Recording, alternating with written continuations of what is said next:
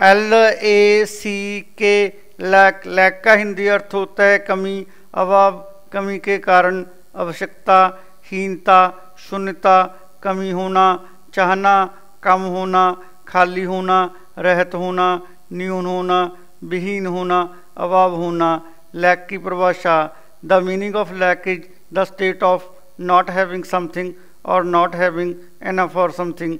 Lack का अर्थ किसी वस्तु के ना होने या किसी वस्तु के पर्याप्त ना होने की अवस्था है।